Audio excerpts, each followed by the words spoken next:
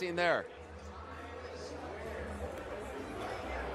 Anderson, Andy, it is such a pleasure to be with you on New Year's Eve. We're live from the world famous Ball and Chain Bar in Little Havana in Miami, Florida. And guys, I am so pleased to be with you. I raised my hand to do this because in years past, you know I love you guys, but I felt like the show lacked a little bit of sazon, un poquito de ritmo, some Latin flavor. And what better way to bring that to CNN's viewers than with a salsa lesson? So let's bring in my friend Renee.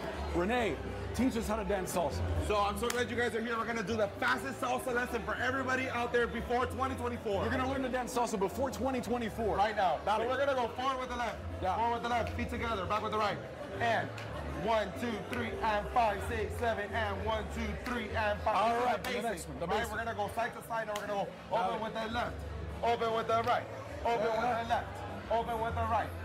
You think you're ready?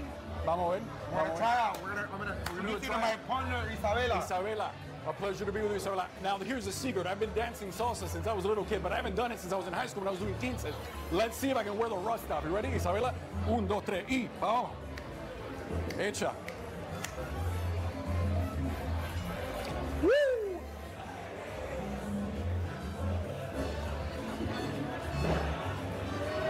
Not bad, not bad. Renee, what do you think? What do you think? That was amazing. That was amazing. A little, bit has changed. A little bit has changed in like the 20 years since I was. Hey, I give it to you.